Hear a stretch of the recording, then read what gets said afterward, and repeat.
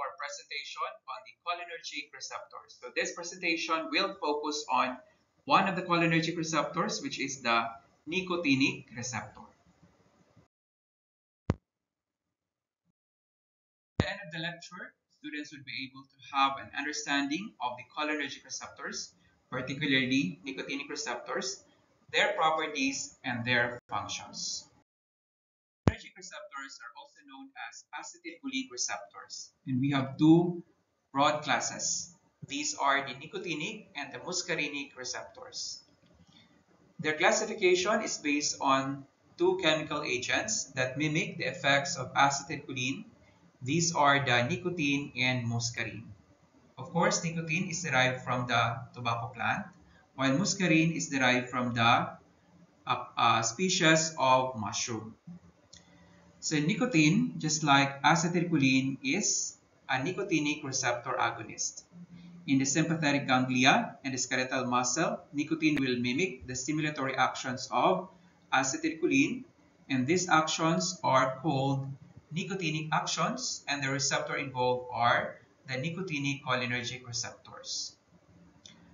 Uh, muscarine is responsible for the toxicity of the toadstool. Muscarine will mimic the stimulatory action of acetylcholine on the smooth muscle and the glands. These actions of acetylcholine are called muscarinic actions and the receptors involved are muscarinic cholinergic receptors. Uh, the other name of nicotinic receptors are nicotinic acetylcholine receptors. And they are members of a superfamily of ligand-gated ion channels or ionotropic receptors. They are called as ion-gated channels because they facilitate the entry and the exit of ions in and out of the cell.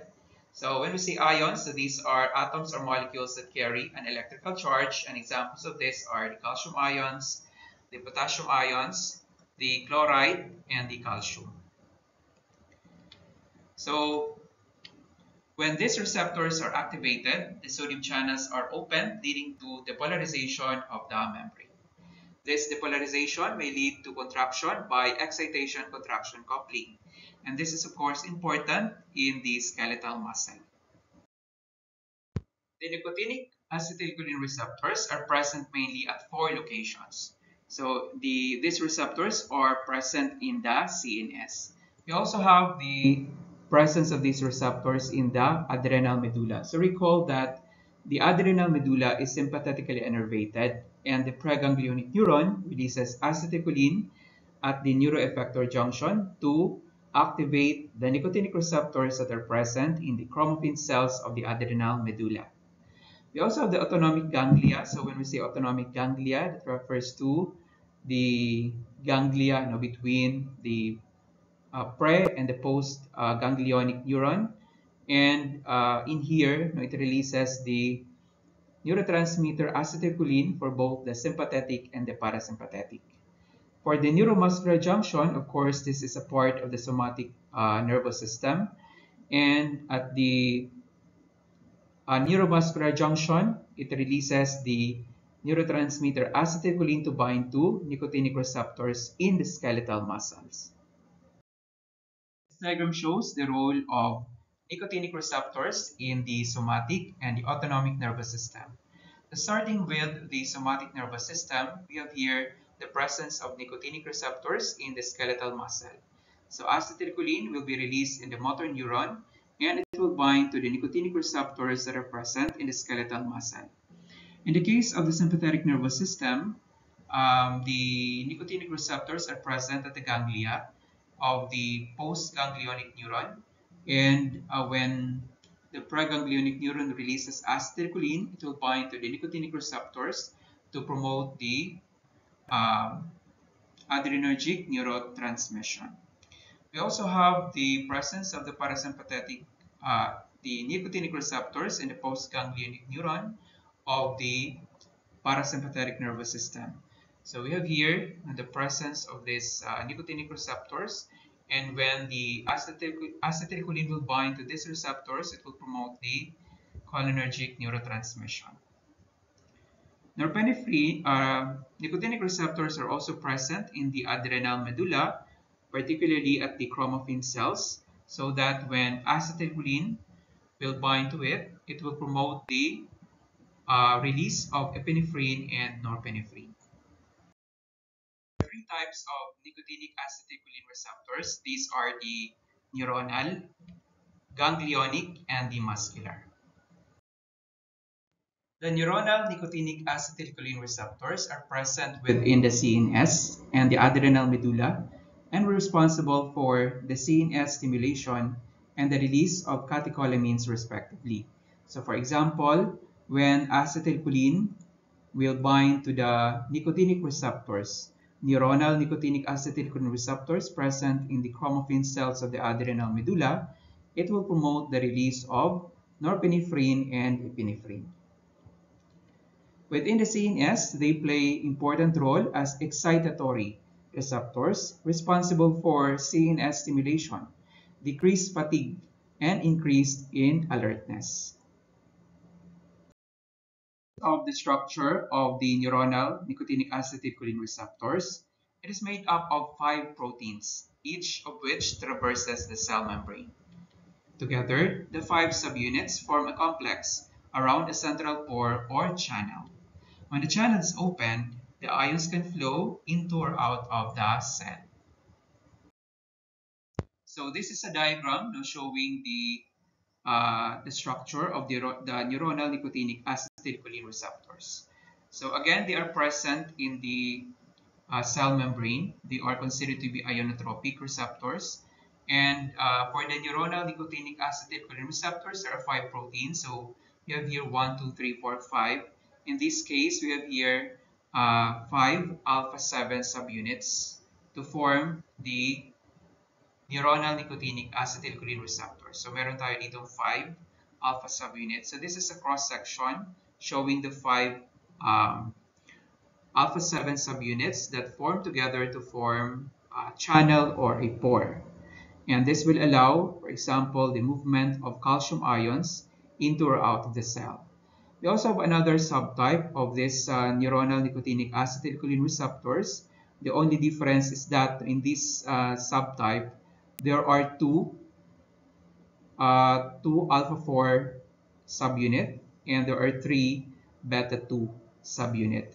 And this will allow the movement of sodium and calcium ions into and out of the neuron. The diagram represents the locations of the neuronal nicotinic acetylcholine receptors. So this is the presynaptic membrane and this is the postsynaptic membrane.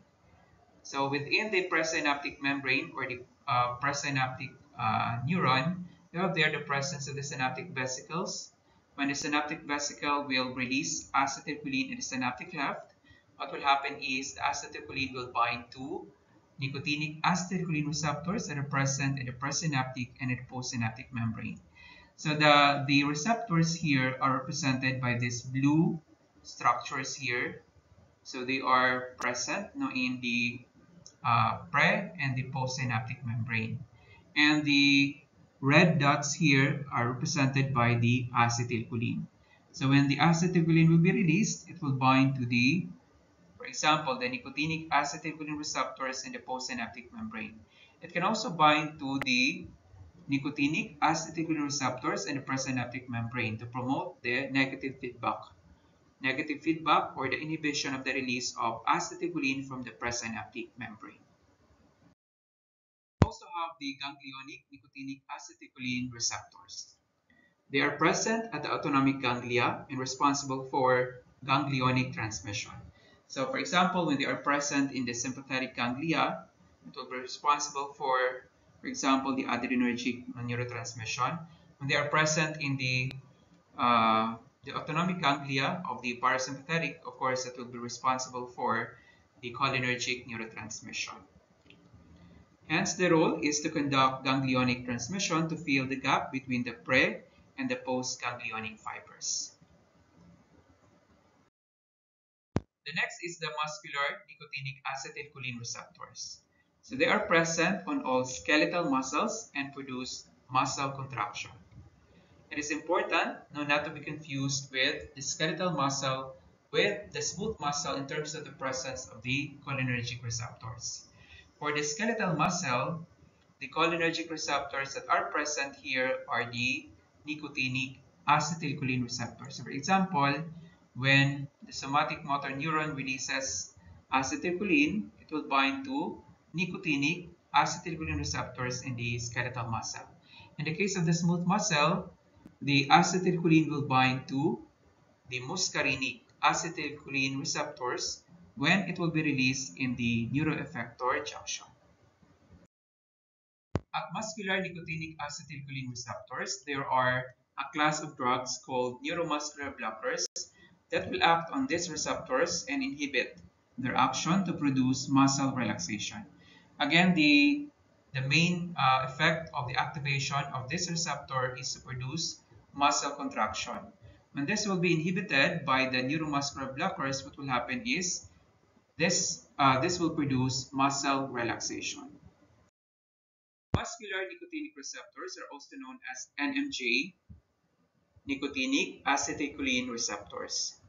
Uh, they are also called as this one because, again, they are found in the neuromuscular junction. In terms of their structure, they consist of five polypeptide subunits there are two alpha subunit and one of the beta, gamma, and delta subunit. The binding surface of the receptor appears to be on the alpha subunit. The subunits contain recognition sites for the agonist, reversible antagonist, and alpha toxin. So, example of the uh, alpha toxin is the cobra toxin and the alpha bungarotoxins diagram represents the three-dimensional model of the NMJ or the muscular nicotinic acetylcholine receptors. Again, these receptors are ligand-gated ion channels. So this uh, type of receptor is composed of five subunits. We have here two alpha subunit and one gamma, one beta, and one delta. They all contribute to the formation of the pore. So this uh, structure here at the center represents the structure of the receptor when there is no ligand that is attached.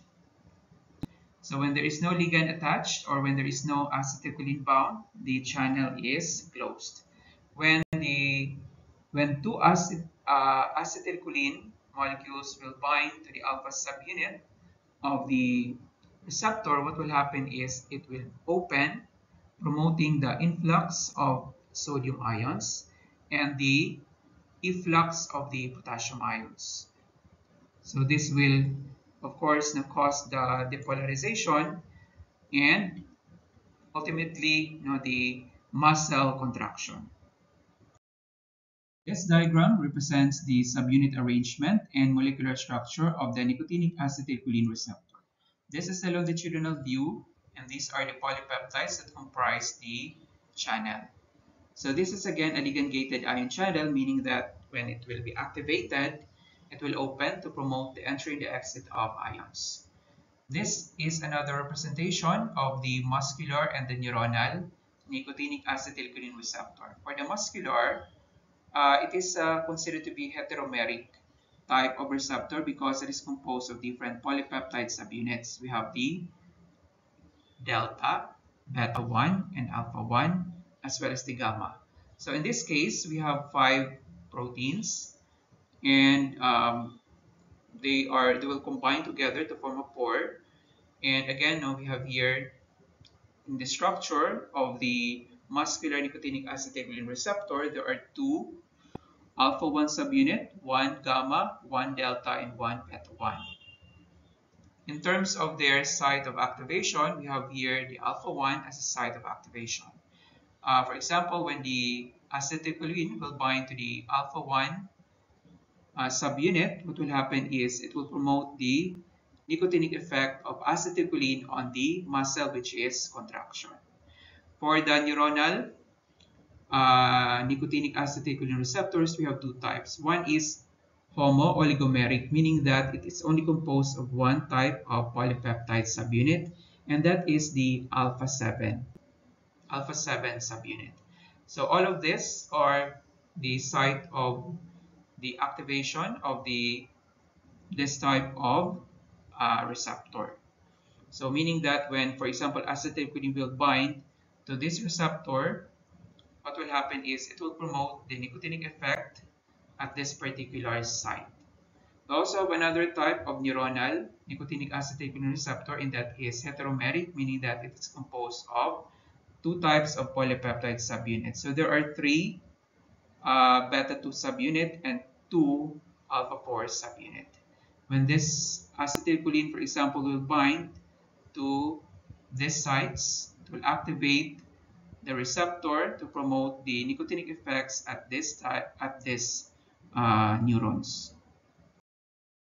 This diagram is a summary of the different nicotinic acetylcholine receptors. And again, we have three types, the NN or the neuronal, the NG or the ganglionic, and the NM or the muscular type. For the neuronal, of course, these are found in the CNS and the adrenal medulla. It will promote CNS excitation and the release of adrenaline and norepinephrine.